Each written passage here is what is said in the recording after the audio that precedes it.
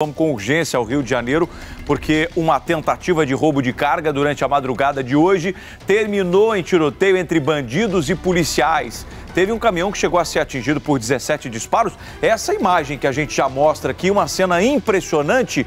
Quero saber do Matheus, que volta a conversar com a gente, os detalhes dessa ação com este é, veículo cravejado de balas aí na parte dianteira, né, Matheus? Pois é, pessoal, a gente acabou de chegar aqui, a gente está apurando ainda todas as informações preliminares, conversando aqui com o pessoal da 21ª DP, a gente tem informação de que esse caminhão aqui que foi alvejado, a gente vê aqui, o Thiago está mostrando pelo menos 17 tiros, estava na penha. E aí o que aconteceu? Os criminosos acabaram entrando nesse caminhão e pediram para que da penha eles pudessem acessar a linha amarela policiais do 21º Batalhão estranharam que esse caminhão estava sendo escoltado por uma moto e um carro. Então, assim, pelo menos a gente está falando aí de três, quatro pessoas que fizeram essa escolta. Quando os policiais da 21ª DP entenderam toda essa circunstância, começou essa troca de tiros. Eles revidaram. A gente sabe que tinha um motorista e ainda ao lado do motorista esse bandido que conseguiu escapar. O que chama muito atenção, pessoal, é que com 17 tiros, pelo menos 17 tiros, foi o que a polícia militar e a polícia civil falaram. É impressionante como isso não acabou atingindo o motorista por muita sorte.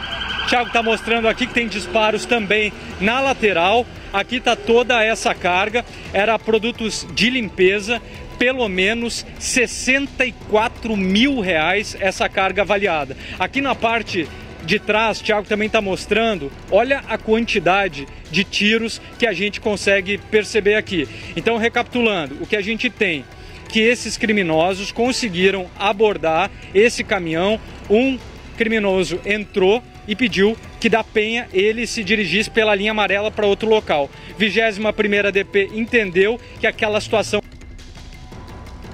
quando houve então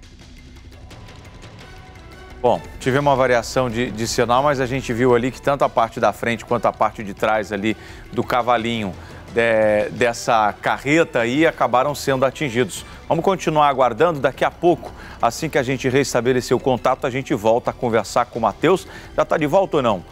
Para mostrar essa tentativa de roubo. Ô, Matheus, a gente perdeu é, provisoriamente o seu sinal, mas já estamos de volta, meu amigo. Então a gente segue falando aqui. Eu vou pedir para o Thiago mostrar aqui na parte de trás, depois a gente volta para o caminhão, Thiago. Olha a quantidade aqui de reforço na 21ª DP. Eu acho Polícia que a Civil, vai... a todo tempo, assim. eles estão chegando para cá. E o Matheus? policiais militares, polícia civil vindo para cá e ao chegar aqui a gente percebeu muitos policiais em vários pontos fazendo blitz. É, eu acho que quando ele se move, o, o sinal é, é, Vamos tentar mais uma vez. Ô, Matheus, se você puder continuar com essa imagem apontada para os policiais, eu acho que o sinal está um pouco melhor aí. Vamos tentar virar aqui, Thiago, para ver se estabiliza um pouco o sinal, se vai ser possível. A gente vai tentando aqui. É... Realizamos o sinal? Oi, Matheus, a gente continua te ouvindo. Bom, aqui.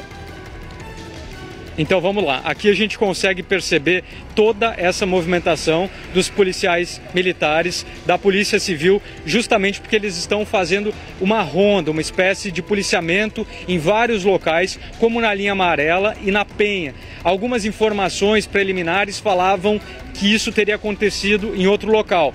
Eu acabo de apurar com os policiais que de fato fizeram todo esse acompanhamento. Então, esse caminhão estava na Penha, zona norte do Rio de Janeiro. Na linha amarela houve essa abordagem e o intuito desses criminosos seria levar esse caminhão para o complexo do Alemão, também na zona norte. Com essa abordagem, então, os policiais desconfiaram que esse caminhão estava sendo escoltado com uma moto e também um outro veículo. E aí, quando houve abordagem, já começou essa troca de tiros, eles começaram a revidar e a gente vê aí a violência nessa segunda-feira na avenida, na linha amarela, local que numa segunda-feira tem uma movimentação extremamente expressiva. São 17 tiros, pelo menos, aqui no para-brisa desse caminhão.